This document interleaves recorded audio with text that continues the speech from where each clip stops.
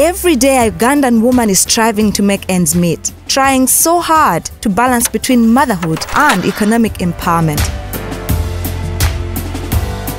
In so doing, they have exposed our babies to all sorts of risks that usually go untold, yet many moms can barely make enough to afford the cost of household help or let alone daycare services.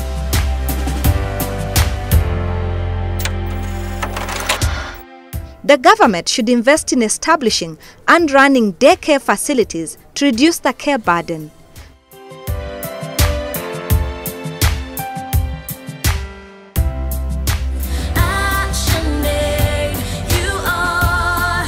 This message is brought to you by ActionAid with funding from Institute of Development Studies, making care work visible.